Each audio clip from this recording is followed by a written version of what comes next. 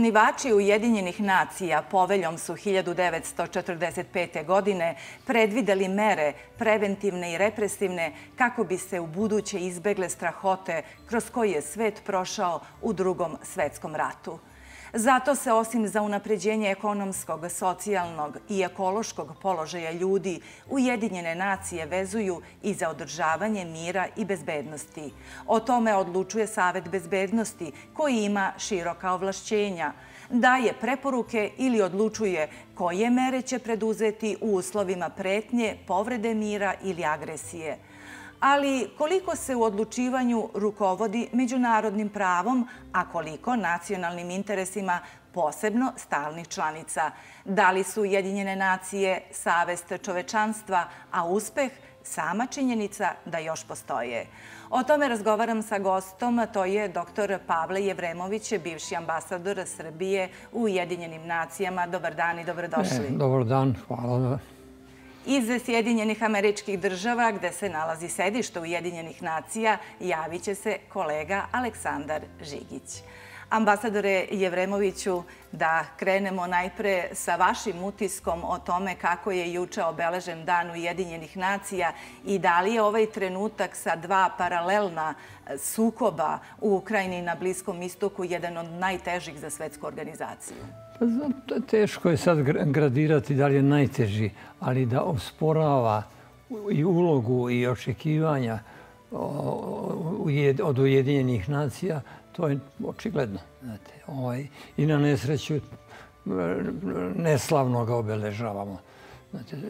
Tako da, e, e, kako da vam kažem, e, žalosno je sve to i tragično je da se e, ljudi ginu, razaraju se privredni i društveni objekti, pa baš nije baš najslavnija proslava.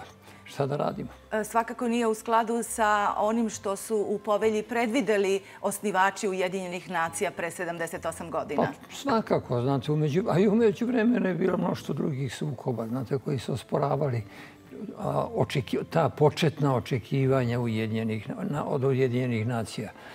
Ovaj, međutim, znate kako, Ujedinjene nacije su odgovor na kataklizmu kroz koju je prošao svet u drugom svetskom ratu, da se ona više nikad ne ponovi.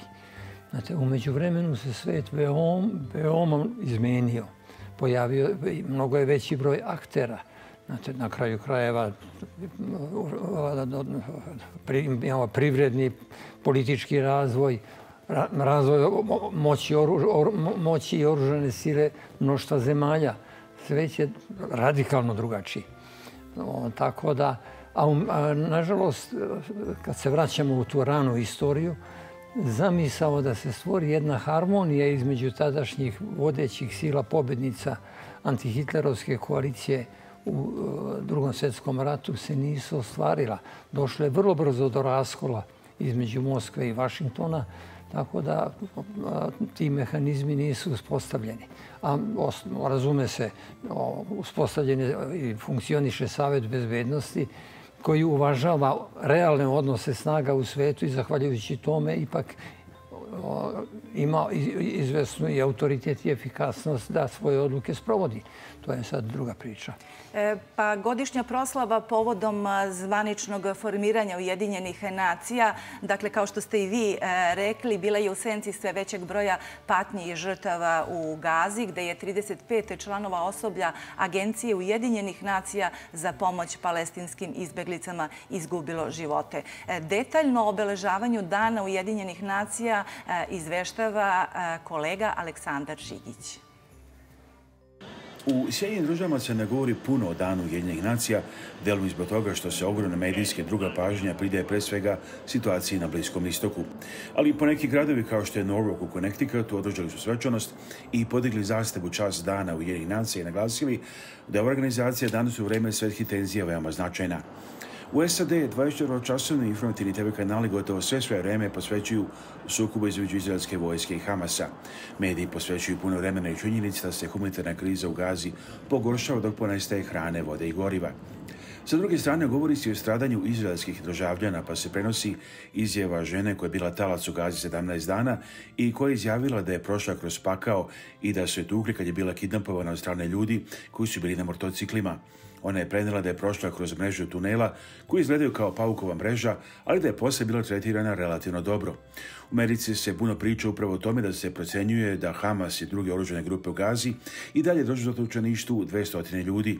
New York Times navodi da je Izrael rekao da će uništiti Hamas, ali Lis se pita ko će posle toga upravljati gazom i također kad izraelska vojska uđe tamo, kako i kada će izaći napolje.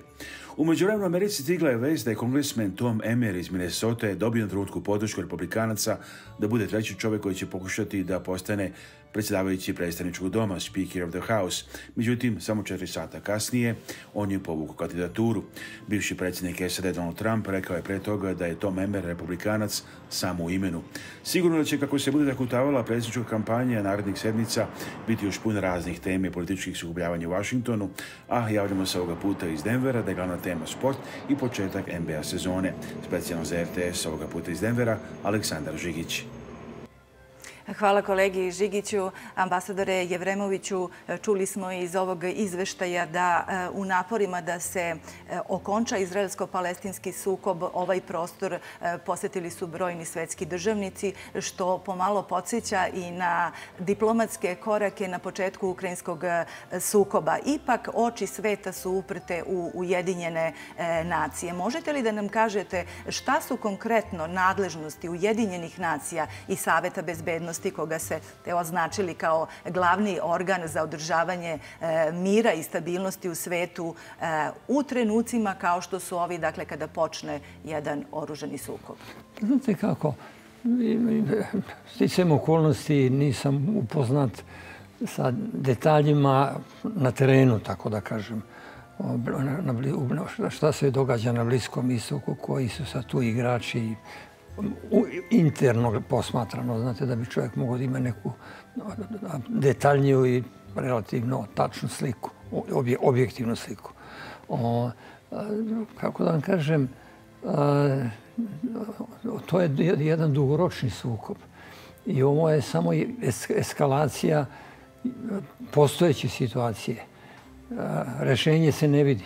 Znate, akteri nisu spremni za to ali su ono što pretpostavljam da ipak postoji, a to je jedna linija koja se neće preći da se to rasplamsa u neki kataklizmični, regionalni i širi sukob. Znate. Ali to sad ostaje da vidimo. Znate, na, na, na, nažalost, Ujedinjene, Ujedinjene nacije, tačnije Savet bezbednosti u ovom trenutku je pasivan. Znate, odnosno, sigurno da prate situaciju i to nije tu su i odgovarajuće službe i tako dalje, eksperti i tome slično. Ovaj, ali ne nazire se formula koja bi dovela do deeskalacije sukoba. Znate, mislim da učesnici još nisu isrošili političke i vojne kapacitete. A da li je na Savetu bezbednosti da ipak kada počne jedan oružani e, sukob, e, dakle ovo više nije pretnja miru, već je e, jednostavno jedan e, rat, ima mogućnost da, kao što je po povelji u e, naporima da zaustavi uvede određene ekonomske sankcije ili da na kraju sam e, da intervenišu, da se pošalju mirovne snage. Dakle, šta je prema e, pravnim dokumentima e, nadležnost Saveta bezbednosti? Znači, strogo gledano sa stanovišta međunarodnog prava, pravni okviri su prilično fleksibilni. Problem je prevashodno politički.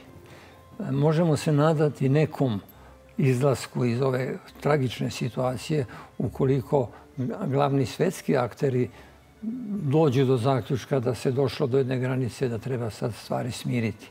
Ali koliko je situacija u svetu takva da ne vidim da je to na pomolu. Prema tome sukob će potrejati, a rešenje teško da taj pa se sukob traje već 70 godina. Da. Znate, Eh, a sada kada pričamo i o eh, merama Savete bezbednosti, eh, treba da se podsjetimo i na mirovne snage Ujedinjenih nacija koje su raspoređene širom sveta i vojnici nekada iz Jugoslavije, danas iz Srbije, učestvuju u njima. Šta je njihova uloga u odnosu na druge vojne organizacije kao što je NATO ili pak kao što je ODKB u čijem sastavu su Rusija i bivše Sovjetske republike ili čak Šangajska organizacija za saradnju koja e, je više političko-ekonomskog i jednog kulturnog značaja, ali koji ima također jedan bezbednostni aspekt. Pa znate kako, mandat Ujedinjenih e, snaga ujednjenih nacija je određen političkim odlukama kako, u vreme kad su upućene tamo. Znači, oni njihova uloga je da obezbede mir neutralnim delovanjem i ohrabrivanjem razvoja koji smanjuje tenzije i smanjuje, mogućno, smanjuje izglede za eskalaciju i dalje razorne sukobe. Znate. I s te strane ugled svetske organizacije ima veoma, veliku, veoma veliki značaj. Znate. No, bili mi zadovoljni ili nezadovoljni ponašanjem ili akcijama mirovnih snaga ima ih vrlo različitih iskustava, kao što znamo, setite se Konga i ubista Lumumbe. Ovaj, to je jedna niska tačka ovaj, da, da kažem, intervencije u jednih nacija. Ovaj, ali je to ipak i danas još uvek nezameljivi mehanizam. Znate, to je takav kakav je Evo, e, ambasador Jevremoviću, za trenutak ćemo da e, zaustavimo naš razgovor i da čujemo e, informacije iz sistema Pronađi me i evo, moja koleginica će vam nešto više reći o tome. Pronađi me, hitno obaveštenje o nestanku maloletnika. Poštovani gledoci, ovo je danas samo inicijalna informacija iz sistema Pronađime. To je sistem za obaveštavanje javnosti o nestanku maloletnika. Upravo smo dobili sledeću vest o početku rada. Pronađi me sistem za hitno obaveštavanje javnosti od danas je aktivan i u Srbiji. U slučaju aktiviranja sistema o nestanku maloletnog lica bit ćete obavešteni SMS porukom, prekidom televizijskih i radioemisija, kajronima na autoputu, aerodromskim, autobuskim i železničkim stanicama. Ovaj sistem će doprineti da se brže reše slučajevi nestanka dece u kojima je svaki minut dragocen. Dakle, to je bilo prvo obaveštenje. Danas je u Palati Srbije obeležen početak primene Srpskog Amber Alerta koji se kod nas zove Pronađime. Sa nadom da neće biti potrebe da ga koristimo.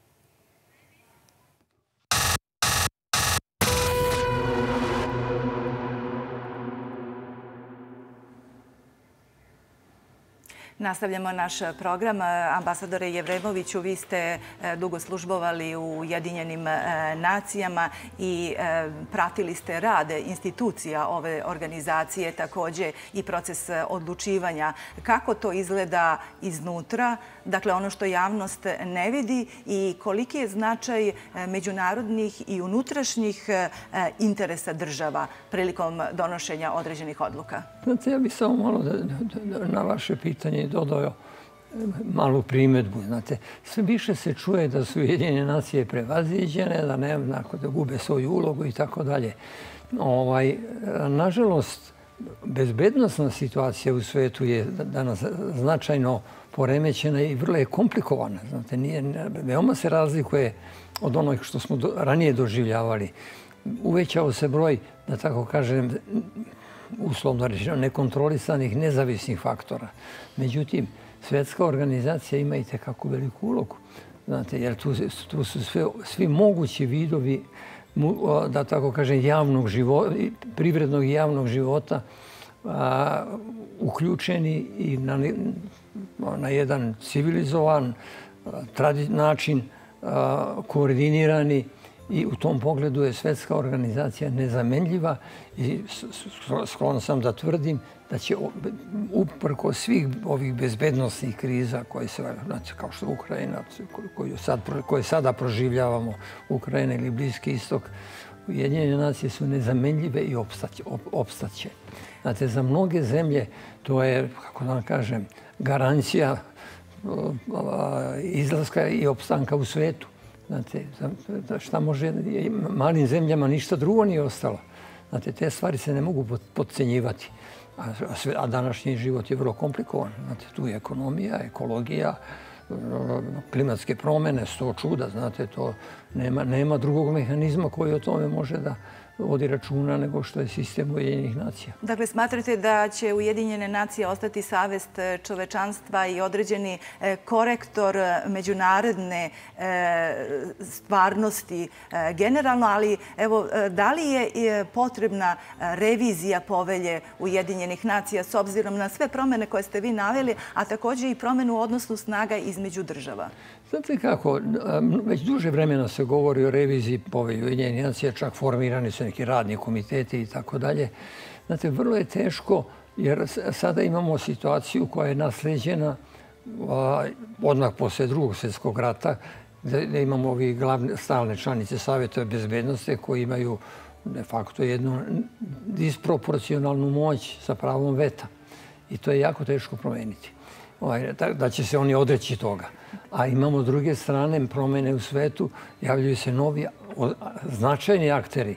Znate, tu je, uzmite Indiju, onda, šta je znam, Brazil, e, ono malo smo iznenađeni e, ekspanzijom i napretkom koju doživljava e, Iran, znate, Turska. A s druge strane, recimo, afrički kontinent nije zastupljen u tom procesu odlučivanja. To svakako zaslužuje korekcije. Ali da bi se to sprovelo, potrebna je saglasnost postojećih članica Saveta bezbednosti, što je jako teško eh, pretpostaviti da će se one složiti s tim da se odreknu monopola koji sada imaju. One ipak ljubomorno čuvaju pa, svoje pozicije koje su stekle posle drugog svjetskog rata, a nama svima, dakle u svetu, svim narodima, preostaje da se pridržavamo onoga što nam je rekao generalni sekretar Antonio Guterres, da se ponašamo i da delujemo kao ujedinjeni narodi, dakle kao što je i naziv organizacije. Ambasadore Jevremoviću, hvala vam na gostovanju u jutarnjim programu programu Radio Televizije Hvala i vama. Sve najbolje i vama, a i nama. Dosta su mutna vremena su pred nama. Planeti neka bude sve na dobro. Hvala još jednom.